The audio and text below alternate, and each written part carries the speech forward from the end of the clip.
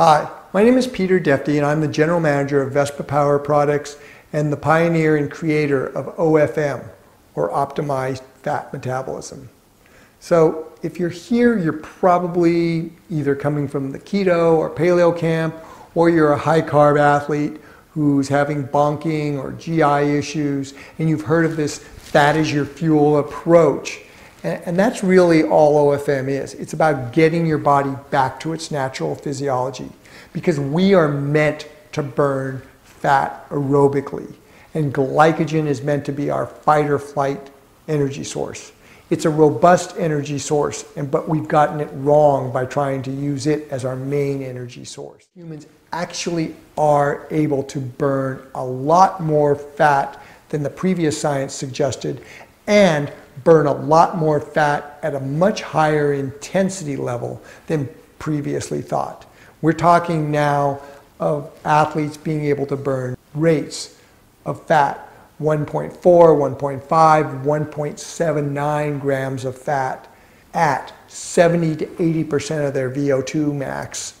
This is the sweet spot for endurance sports, the spot that most well conditioned athletes keep themselves in when they're doing soccer or basketball or other kind of team sports. So getting your aerobic capacity to burn fat at high levels and at high rates has a profound impact on your ability to sustain performance using your glycogen and exogenous intake of glucose, carbs to perform.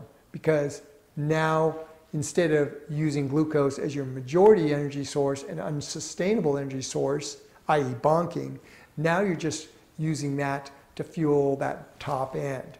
And that's why with OFM, we don't exclude carbs or restrict carbs as sharply as the people in the keto camp do. do. But because you're fat adapted, you don't need the level of carbs that a carb dependent athlete needs. So that's the basic premise.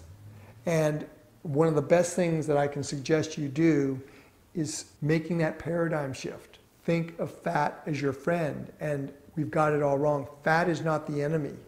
And the reason we call it optimized fat metabolism is because fat needs to be metabolized. And when you get your body back to that physiology that knows how to burn fat, it actually burns fat and you use your fat instead of storing it, instead of it accumulating in your soft tissue. Fat becomes your fuel. But it's more than just that because fats and lipoproteins, fats which have proteins attached to them, these are key for nutrition and health. These are the building blocks. Concentrated carbohydrates are nutritional wastelands. They're full of glucose, but they're not full of nutri nutrition. And when you metabolize fats, especially when you're using uh, nutrient dense um, and nutrient bioavailable foods, you're able to metabolize the fats, the lipoproteins, and convert them into those building blocks for cells, for mitochondria, for hormones, for enzymes, for everything your body needs to be robust and to be performing its best. So start by going to the OFM website. Start by looking at the OFM pyramid and uh, some of the previews we have on, on what each tier uh, involves and how we can take you through those steps to get you fat adapted because OFM is not keto. OFM is not paleo.